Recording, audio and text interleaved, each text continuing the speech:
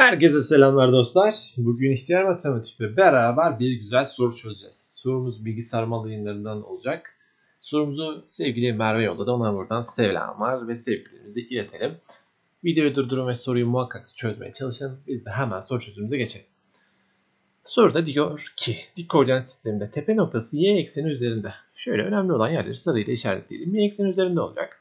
Bundan bir parabol çiziliyormuş. Parabolün eksenleri kesti. 3 noktada varmış. Yani 3 noktada kesmek zorundaymış. Ve diyor ki mutlak değerlerin toplamı 12'dir diyor. Şunu da işaretledim ve mutlak değer olduğunu ifade edelim. Parabolün tepe noktasının ordinatı pozitif olacakmış. Güzel. Bunların hepsini şimdi adım adım birazdan koordinat sisteminde anlatacağım. Diyor ki dik koordinat sistemin birinci bölgesinde parabol ile eksenler arasında kapalı bölgenin alanı en çok kaç birimdir diyor. Şimdi öncelikle şurada bir tane kaba taslak bir şey çizelim. Uzatayım şöyle yapsak. Heh. Şimdi şunu da çizsek. Tamam. Bu x, y eksenlerini çizdik. Diyor ki y ekseni üzerinde olacak. Ne? Tepe noktası. 3 noktada kesecek ve mutlak değerlerin toplamı 12 olacak diyor. Tepe noktasının ordinat aynı zamanda pozitif olması gerekiyor. Arkadaşlar şimdi tepe noktası şöyle bir değer alabilir mi? Hayır alamaz çünkü negatif. Geçtim. Pozitif olacak yani tepe noktası mecburen burada bir değer almak zorunda. Peki hala böyle bir değer alabilir mi? Alabilir ama diyor ki bize 3 nokta olsun. Şimdi öyle bir değer, öyle bir parabol çizeceğim ki bütün şartları sağlayacak. Aynen bu şekilde. 3 noktada kesişiyor mu? Evet. Düzgün bir parabol olmadı. Hemen çizelim. Şartları sağlıyor. Sonrasında ise tepe noktasının oradan pozitif oluyor. Evet pozitif. Bu kadar. Bütün şartları sağladık.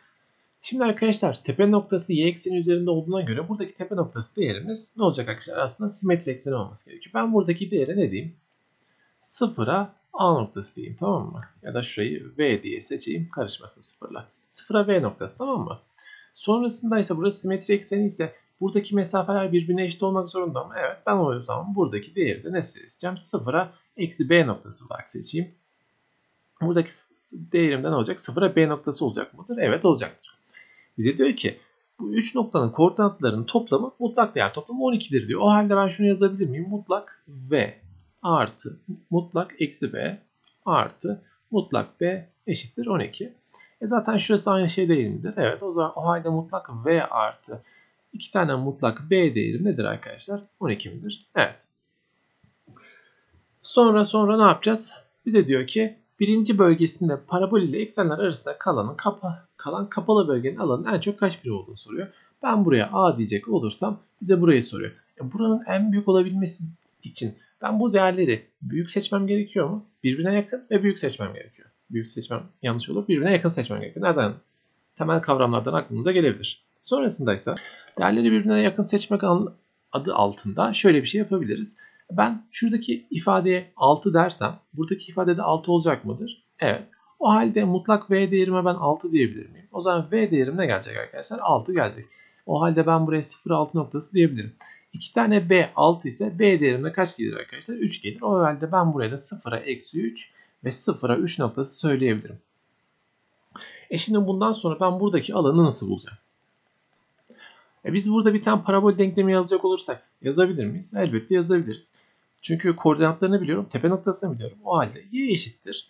K çarpı x artı 3 ve x eksi 3 yazabilir miyim? Evet. E bize diyor ki 0 verdiğimiz zaman x yerine 0 verelim. Burası x, burası y değerleri sonuçta.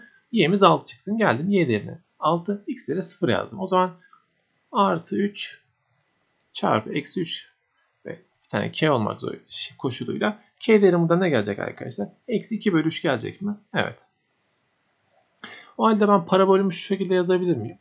Fx diyelim ona da. fx eşittir. x artı 3 ile x eksi 3'ün çarpımı zaten 2 kare farkında ne gelecek arkadaşlar? x kare eksi 9 ve bunun başında da bir eksi 2 bölü 3'ümüz var. Pekala biz buradaki alanı bulabilmemiz için ne yapmamız gerekiyor arkadaşlar? Tabii ki de integral. E burası 0'a 0 noktası mı? Evet. Burası 0'a 3 noktası mı? Evet. O halde integrali şöyle yazabilir miyim? Ben integral diyorum. 3'ten 0'a gitsin. Eksi 2 bölü 3 çarpı x kare eksi 9 olarak yazarsam. E ben bunu integral dışına nasıl çıkartırım arkadaşlar? Eksi 2 bölü 3 çarpı x küp bölü 3 eksi 9x olarak çıkartabilirim. Sınırlarımız ne arkadaşlar? 3'ten 0'a 0 almama gerek yok zaten. Şöyle, şöyle yaparsak daha sağlıklı olacak. 3'ü direkt içeri yazıyorum. Şimdi 27 bölü 3 eksi 9 çarpı 3'ten sonrasında ise eksi 2 bölü 3'ümüz var mı? Evet.